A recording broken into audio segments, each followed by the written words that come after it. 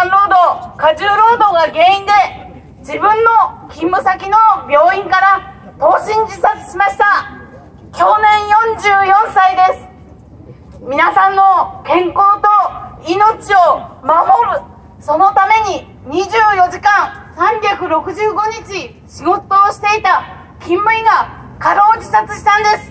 許せることでしょうか？